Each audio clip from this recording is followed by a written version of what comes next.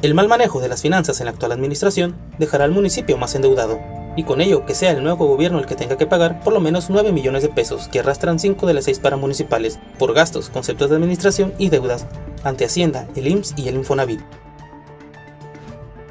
Rafael Delgadillo Barbosa, regidor del PAN, detalló que es la promotora inmobiliaria quien debe 4 millones de pesos, mientras que la central camionera adeuda cerca de 2 millones y los 3 millones restantes son deudas del Instituto Municipal de Investigación y Planeación Urbana, la COPRECO y el Rastro Municipal, por lo que solicitaron un préstamo al ayuntamiento para hacer convenios, deuda que le quedará a la siguiente administración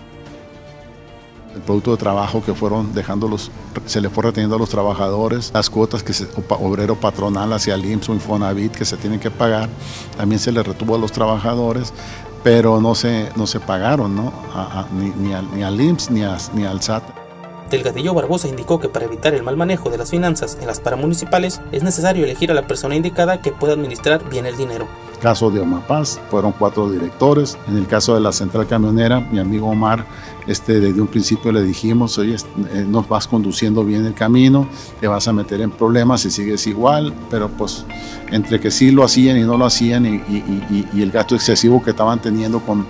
pues, con gastos, gastos este que no debían haberse hecho en su momento. Por su parte, el regidor del PT, Rosendo Rayales, señaló que es necesario auditar a la central de autobuses, ya que se descubrió el derroche de dinero y el cual no ha sido comprobado por parte de la administración. Las veces que comprobamos que estaban gastando en, según esto, en alimentos a niños migrantes, que eso nunca nos lo comprobaron. Entonces se necesita auditar de manera seria e insistió en auditar a la Contraloría Municipal. A esta Contraloría que solamente tuvo un, papel de encubrimiento, de solapar, de simulación, para que las cosas cambien, se tiene que revisar desde estos puntos de vista.